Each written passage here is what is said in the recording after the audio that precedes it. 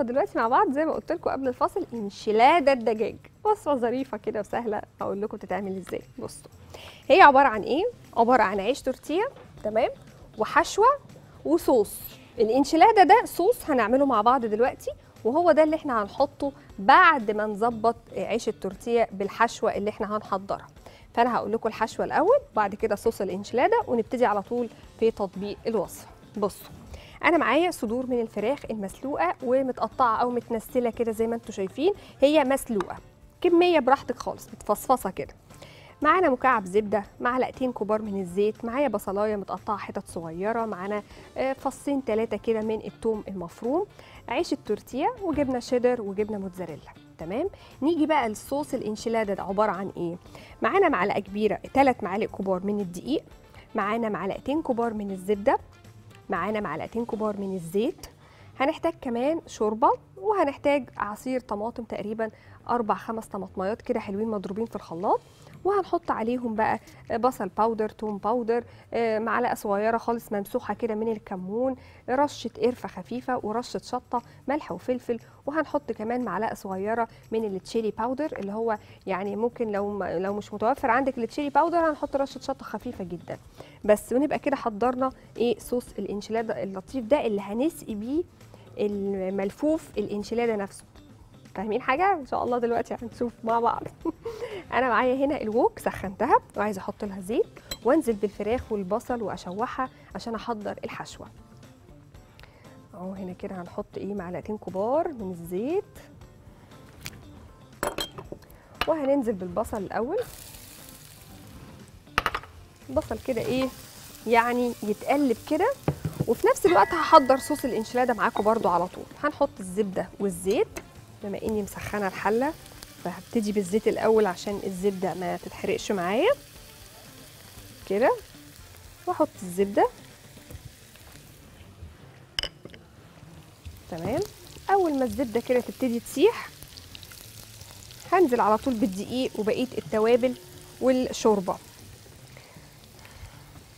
وعصير الطماطم عشان تبقى جاهزة معانا. وهنا البصل أهو. كده الزبدة والزيت اهم تمام. هحط الدقيق. كده. أول ما الدقيق كده إيه ده يبقى شكله مع الزبدة هنزل بالشوربة. وبالطماطم. كده. زي ما اتفقنا مثلا أربع خمس طماطميات ولا حاجة مضروبين في الخلاط. وهنا البصل هبتدي بقى أحط له الثوم وعايزة أشم كده ريحة الثوم وبعد كده عايزة أحط له الفراخ المتنسلة المسلوقة ومتقطعة أو متفصفصه يعني. كده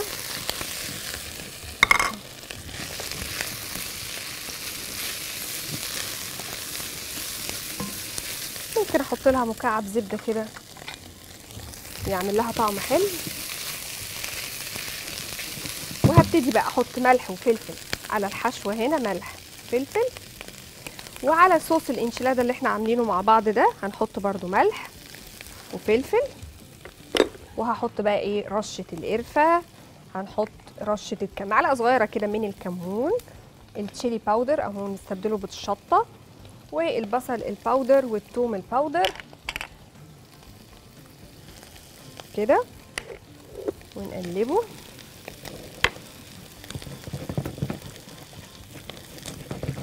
وده كده بيبقى اسمه صوص الإنشلادة. أهو. خطير. ده كده جاهز وتمام وزي الفل. هحطه كده على جنب وأجيب الحشوة هنا جنبي. وأقلبها بقى. اللي هو الثوم والبصل والفراخ المسلوقة المتفصصه تمام. وحطينا ملح وفلفل. كده. هعمل إيه بقى؟ كده برضو الحشوة بقت جاهزة معايا وتمام وزي الفل. عايزة بس كده إيه؟ أشيل ده.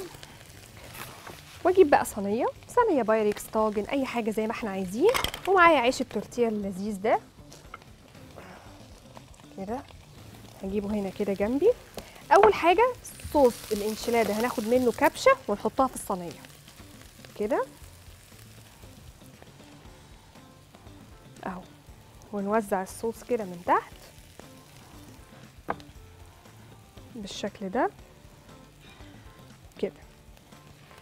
وعيش التورتيه اللي معايا ده هناخد من الحشوة كده. ممكن نخليها كده أحسن عشان الحتة دي أكبر. كده من الحشوة. أهو. وشوية جبنة شيدر مثلا. شوية جبنة موتزاريلا. براحتكم يعني المتوفر عندكم أو أي مجموعة ميكس جبن موجودة. وهنلف الكلام الظريف ده كده مع بعضه.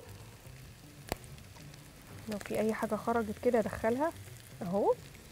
وهاخدها كده وهحطها في الصينية كده بالشكل ده. أهو. نعمل واحدة كمان.